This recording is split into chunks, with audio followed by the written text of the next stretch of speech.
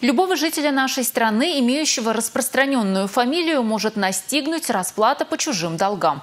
Закон, призванный защитить добросовестных плательщиков, работает не в полную силу. Федеральный реестр полных тезок, который собирались создать в службе судебных приставов, так и не заработал. Поэтому пострадавших по вине однофамильцев-неплательщиков меньше не становится.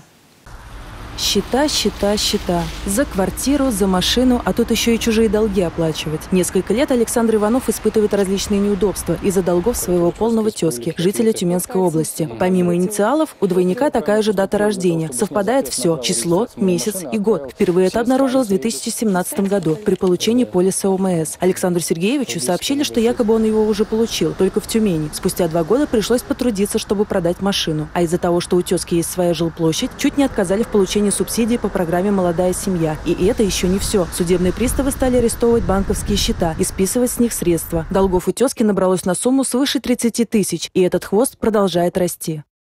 Я побежал быстро в банк, написал заявление, то, что списание средств было ошибочное. Опять же, предоставил свои документы. Зашел на сайт судебных приставов, предоставил выписку о списке долгов на человека в Тюмени. А я нахожусь здесь, вот мои документы. Мне самому лично непонятно, почему такая ошибка происходит. У нас э, совершенно разные номера СНИЛС, э, ИНН, э, серия номер паспорта. В данной ситуации можно составить письменное обращение в банк или кредитную организацию и в службу судебных приставов. Не так давно появился еще один действенный метод.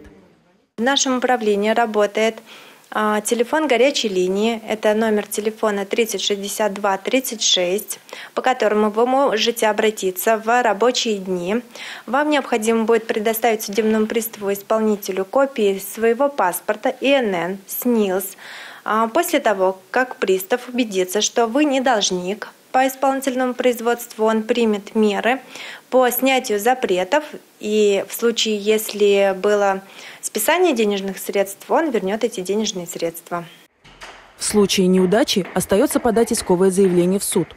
Исключить подобные ситуации, я думаю, могло бы позволить расширение списка идентификаторов должника. Например, если бы в судебном приказе изначально обязательно указывался либо СНИЛС, либо ИНН, а, либо это серия и номер документа, удостоверяющего личность гражданина, то э, подобные ситуации, они бы исключились бы. Такой закон действительно в Российской Федерации, он был принят еще в конце 2018 года, но пока его действие в части именно как раз-таки положений об обязательности указания одного из вот этих вот вышеперечисленных мной идентификаторов приостановлено пока до 1 января 2022 года.